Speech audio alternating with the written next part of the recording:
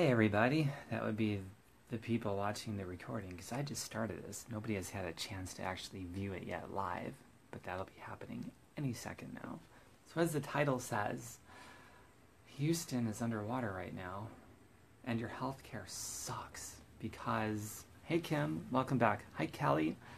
Hi, Jenny. Oh, good, a great audience right off the bat. So, as the title says, Houston is underwater, and your healthcare sucks.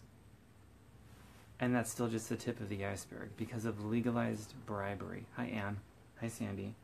So, I'm personally never ever going to vote for president or senator or anything elected if they're on the take from anybody or anything.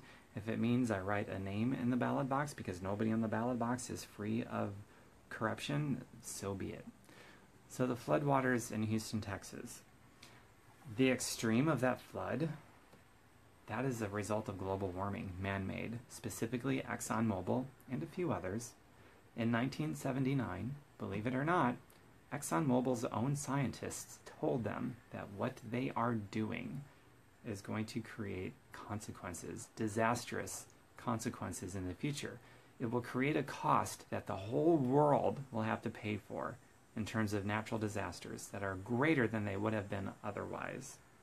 ExxonMobil said, Okay, Mr. Scientists, thank you, but let's bury this and continue business as usual. So they continued. Again, in 1982, the same thing. Their own scientists told them what was up. Their own scientists were real with them. And they said, Yeah, we're going to bury this and continue business as usual. So now, for the past uh, quite a few years, we get the 500 year flood every year or two.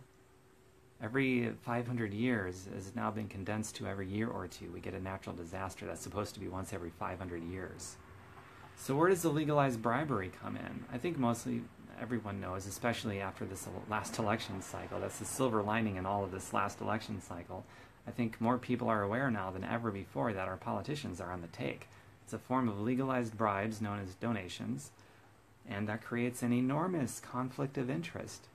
And they never disclose these conflicts, which is just says guilty all over the place, right? I mean, if they were innocent, they would disclose them, but they don't disclose them because they're not innocent.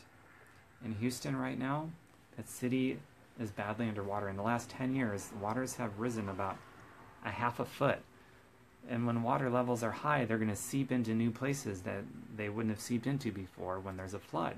And there's more moisture in the air from temperatures going up and more humidity and moisture in the air. So when there's going to be a bad storm, there's going to be more rainfall.